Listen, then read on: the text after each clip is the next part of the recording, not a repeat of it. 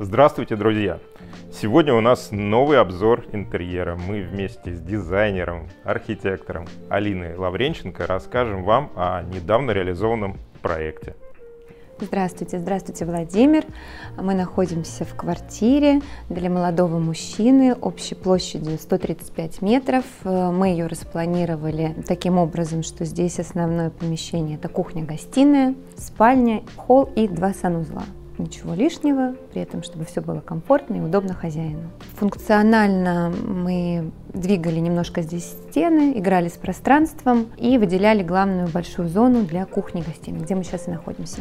Да, ну, очаровательное пространство, ну и, конечно, оно очень интересно решено и по планировке, и по цветовым каким-то акцентам. Расскажите немножко подробнее. Задачей нашей главной было как можно больше избежать белого цвета.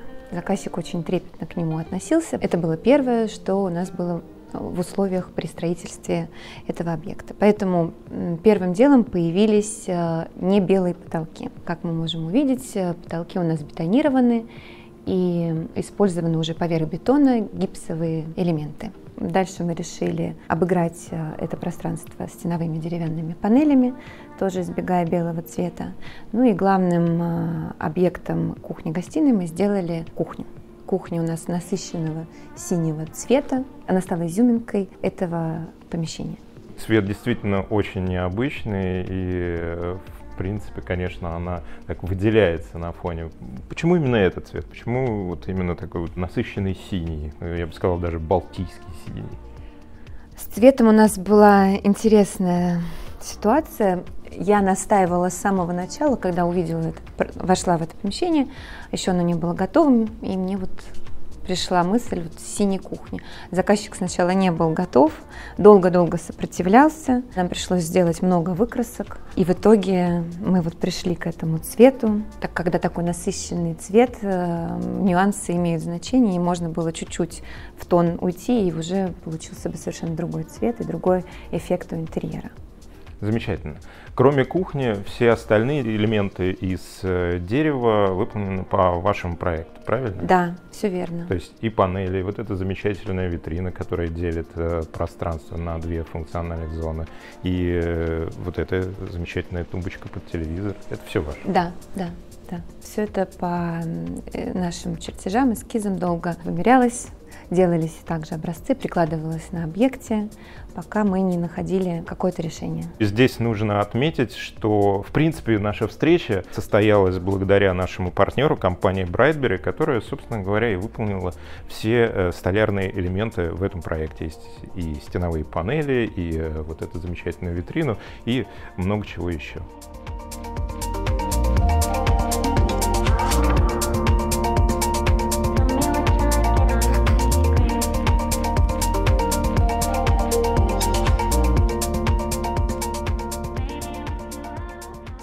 На этом проекте перед нами стоял ряд интересных задач. Например, в гостиной весь периметр зашит стеновыми панелями. Они соединяются с периметром потолка, с полом. В них интегрированы кухня, тумбочка телевизионная, а также кондиционирование, подоконники, оконные откосы, розетки и система умного дома. Все изделия выполнены из массива ясеня. Мы предложили именно этот материал, потому что он наиболее экологичен и долговечен, очень хорошо сочетается с покраской. Одной из задач архитектора было, чтобы не было видно пор э, и рисунка древесины. И с помощью использования массива ясеня и нашей укрывистой отделки это решение было воплощено в жизнь.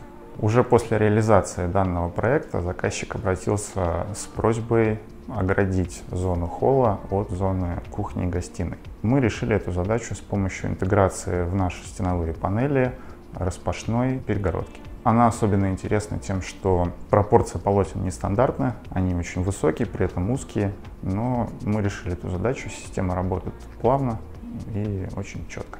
Холл и коридор также оформлены нашими стеновыми панелями.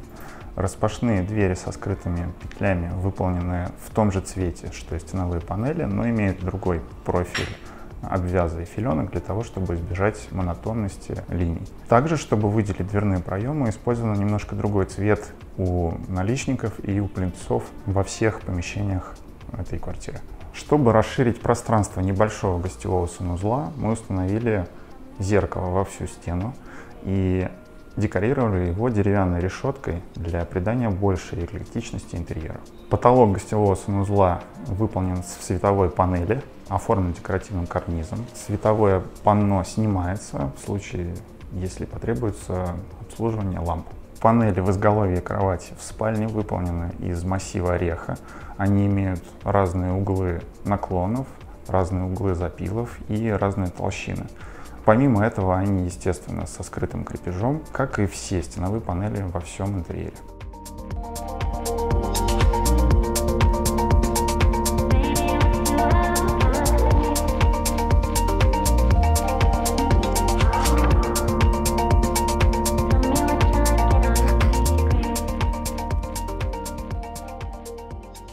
Общий стиль э, интерьера у нас э, ближе к эклектике но мы играли таким образом, что основной все-таки стиль был классический, и он был как каркас, то есть это классические стеновые панели, французская елка на полу, элементы гипсовые на потолке, и дальше, как бусинки, мы насаживали современные элементы декора, это наши диваны, тумбы под телевизор, стеллаж, это уже такие более современные лаконичные формы. Как элемент игры мы добавляли уже необычные элементы, такие как люстра в замковом стиле, но стилизованная под э, современность, да, для того, чтобы было более интересно, визуально находиться в этом интерьере. Чтобы было не скучно, это и ковер, с довольно активным, опять же, цветовым решением, но при этом здесь какой-то растительный сюжет присутствует. К ковру вторят э, декоративные подушки, пледы и отчасти даже вот этот замечательный торшер. Дополняет образ текстильное оформление, потому что там используются те же самые цвета. Все верно. Ну и, в общем, все так складывается у нас в гармоничную картину.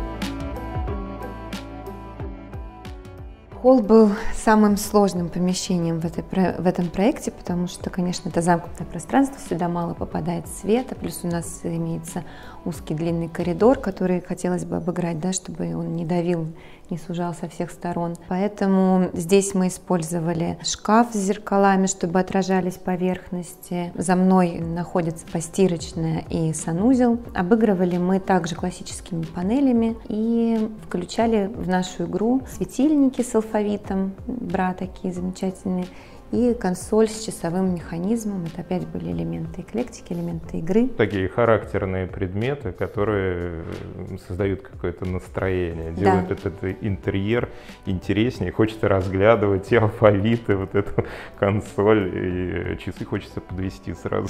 Да, будем надеяться, что те, кто приходит в эту квартиру, а, принимают сразу интересные правила игры.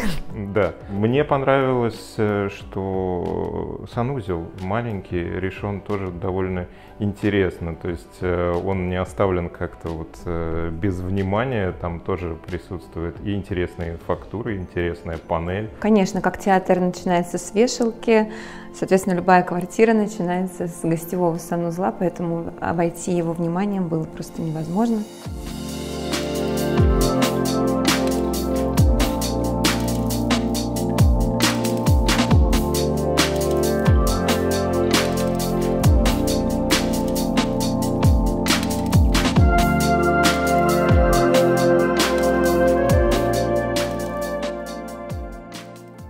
Коридор у нас э, подсвечен трековыми системами и подсветкой над плинтусом. То есть это такая навигационная подсветка, которая, да. видимо, используется, ну, в частности, ночью. Конечно, да. Здесь у нас гардероб а, находится мужской. Он лаконичный, функциональный и экономит нам пространство. То есть у нас нету здесь э, шкафов. Все в одном помещении сосредоточено. Двери откатные также для экономии пространства. Ну и все, опять же, решено в едином цветовом решении для того, чтобы не создавать вот эту излишнюю дробность в этом узком небольшом помещении. Да, все верно. Хорошо. И здесь у нас э, самая главная ванная комната. Да, здесь у нас хозяйская ванная. Мне очень нравится, что эта ванная комната не похожа на такой стандартный санузел. Она действительно больше похожа на жилую комнату. Мы здесь практически на стенах не использовали плитку. Основная у нас плитка это, конечно, в душевой зоне, а все остальное у нас это обои, э, деревянные панели с деревянными полками и зеркала.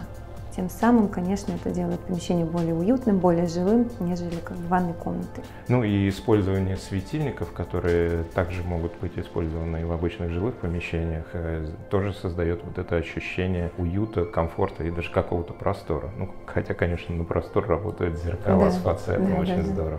Здесь более экспрессивное решение в цветовом плане, потому что здесь мы уже, конечно, добавили такой черный цвет, может показаться более он агрессивным, но так мы увязывали стойки душевой, потолок у нас э, тоже там стекло черное, которое сочетается с черной столешницей раковины. И игра, безусловно, материалов, блеск на обоях, он э, сочетается с полированным мрамором на полу, и все это уже создает такую атмосферу тоже эклектики, но более, наверное, брутальной, что ли.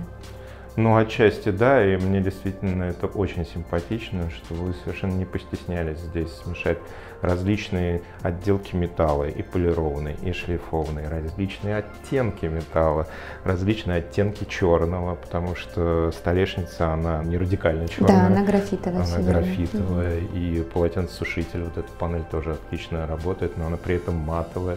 То есть э, много таких сочетаний, которые кажутся излишними, но тем не менее здесь это все очень гармонично. Ну и, конечно, потрясающая дверь для душевой и вообще большая просторная душевая – это большой плюс этой ванны.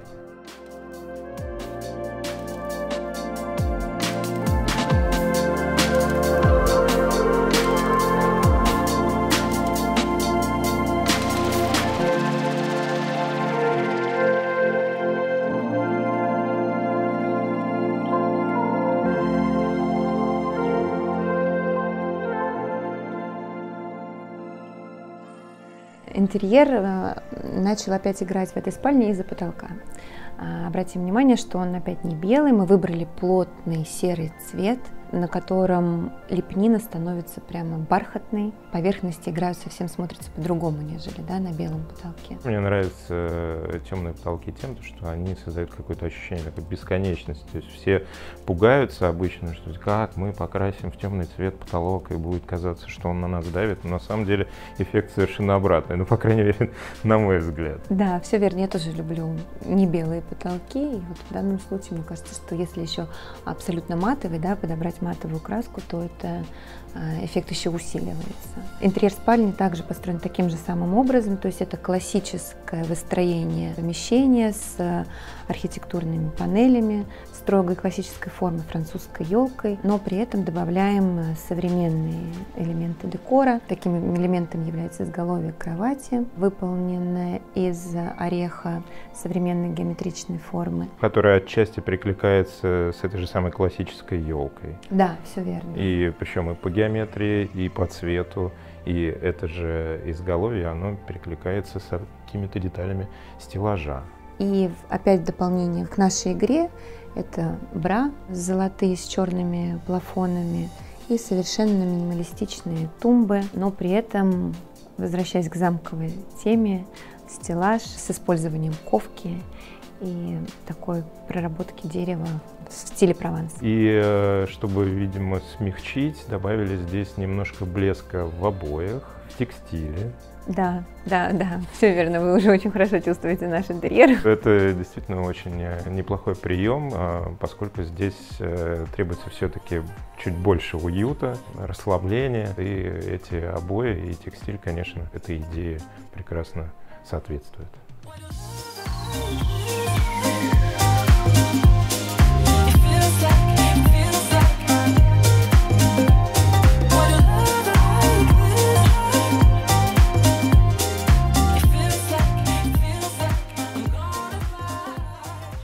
Алина, замечательная работа, прекрасный интерьер. Э, У меня один последний вопрос. Э, Сколько времени заняла реализация?